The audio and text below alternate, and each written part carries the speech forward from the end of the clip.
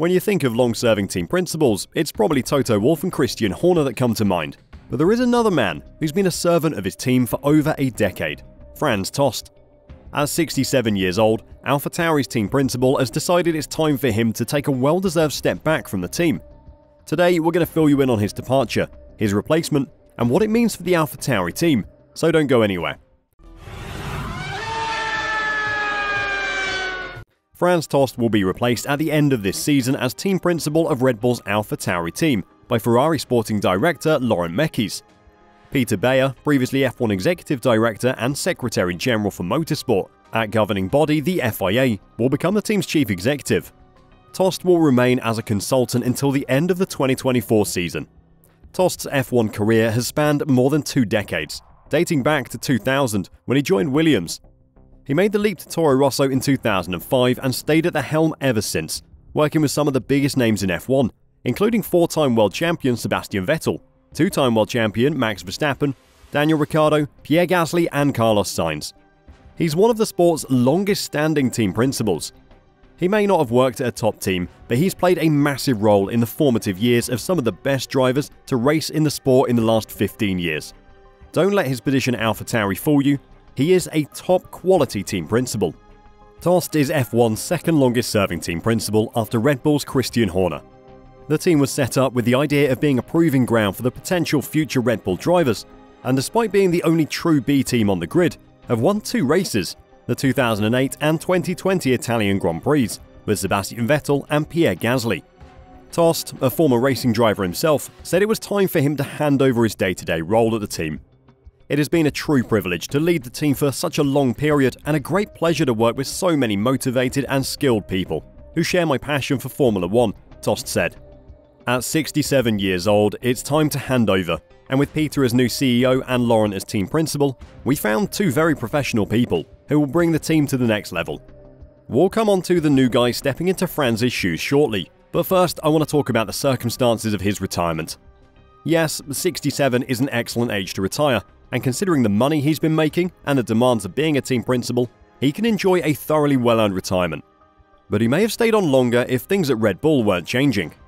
The death of Dietrich Mateschitz, the owner of the Red Bull brand and both of the Formula One teams, will have affected AlphaTauri just as much as it did Red Bull.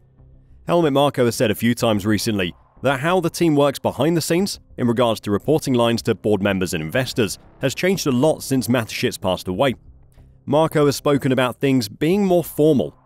He lost the flexibility he had in his role, and Franz Tost could be experiencing the exact same thing. The situation inside the team could also have affected his decision. AlphaTauri as a team are struggling to be competitive.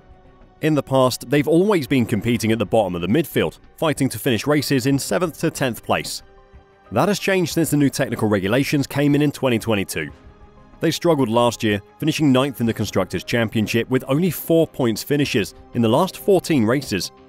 This season, things look even worse, and they could be in a straight fight with Williams to not finish dead last. Tost has aired his frustration with the team to the media already this year. He said back in Saudi Arabia that he doesn't trust his engineers. The engineers tell me we make some good progress, but I don't trust them anymore, he said. I just want to see the lap time because this is the only thing that counts. A combination of age, the change in structure higher up in the team, and a downturn in form has made this the perfect time for him to leave. He isn't giving up in the face of a challenge though. He's earned his retirement in his years of service for the team. So who's going to be asked to turn the team around and make them into the exciting stop for future Red Bull champions they once were? As I said at the start of the video, it's going to be a combination of two people. Ferrari sporting director Laurent Mekies will become team principal, and former F1 executive and Secretary General for Motorsport at the FIA, Peter Bayer, will become the team's chief executive. Frenchman Mekies joined Ferrari in 2018 from a role as a deputy racing director at the FIA, which he joined from Toro Rosso in 2014.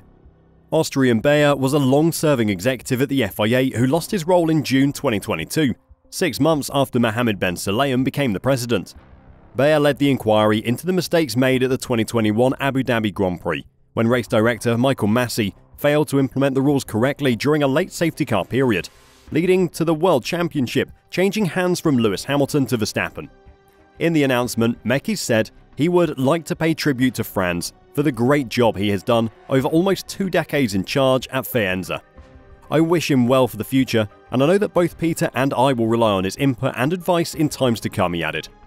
Looking forward, I'm honoured to take on the role of team principal and to return to the team where I spent a large portion of my early career. Scuderia AlphaTauri has all of the ingredients necessary for greater success in the future, and in tandem with Peter, I'm looking forward to making that happen. Mekies will have a hell of a job on his hands trying to turn around AlphaTauri's season. The team has struggled to grasp the new rules, and despite a promising start in 2022, they've struggled to improve the car. Red Bull could have easily sold the second team, which, according to Helmut Marko, costs more to run than the main team. In fact, they recently turned down an offer of $800 million for the team, so clearly they think there is profit to be made and value to having a second team. Red Bull know they can sell the team at any time, so the pressure will be on Mekies to perform. He's going to have some big boots to fill though, because Franz Tost has one hell of a reputation. The Minardi team he took over only scored points at one race in the previous season, and that was at the 2005 United States Grand Prix, where 14 of the 20 cars didn't actually start the race in a protest against Michelin, whose tyres were unsafe to race on. In fact, in their 21 seasons in Formula 1, they only scored points on 21 occasions, an average of just one points finish a season. They were beyond awful, they were hopeless. It would have been easy for Tost to have shrugged his shoulders and accepted the ex Minardi team was forever doomed to be a minnow. After all, its brief was to exist as a training ground for Red Bull's driver stable, and it was always going to be Mateschitz's second team. But that's never been Tost's way of doing things, something he would prove time and again while captaining the team.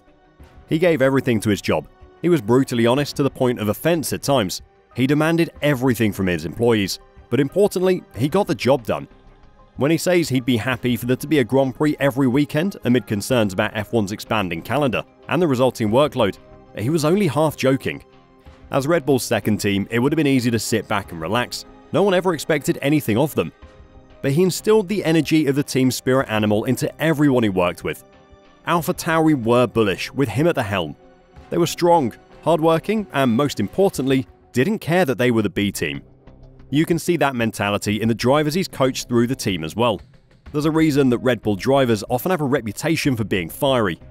Sebastian Vettel and Max Verstappen, two World Championship drivers known for their on track aggression, learn the ways of Formula One from Tost himself. Mekies isn't just taking over a team, he's taking on the role as mentor to Red Bull's future champions. He has to revitalise AlphaTauri, get them out of this rut and back into the midfield. Is he up to the task? Well, the people at the top of AlphaTauri certainly think so. The changes at AlphaTauri have been masterminded by Oliver Mintzlaff, Red Bull's chief executive of corporate projects and investments, he was given the role of overseeing the soft drink giant's involvement in major international sports following the death of co-owner Dietrich Mateschitz last October. Of the new appointments, Mintzlaff said, both Peter Bayer and Laurent Mekies have huge experience in top positions in Formula 1, and together, I'm sure they'll take Scuderia AlphaTauri to even greater heights in the future. Let's hope he's right. What do you think of Franz Tost's record in Formula 1? Will Peter Bayer and Laurent Mekies be able to turn the team around?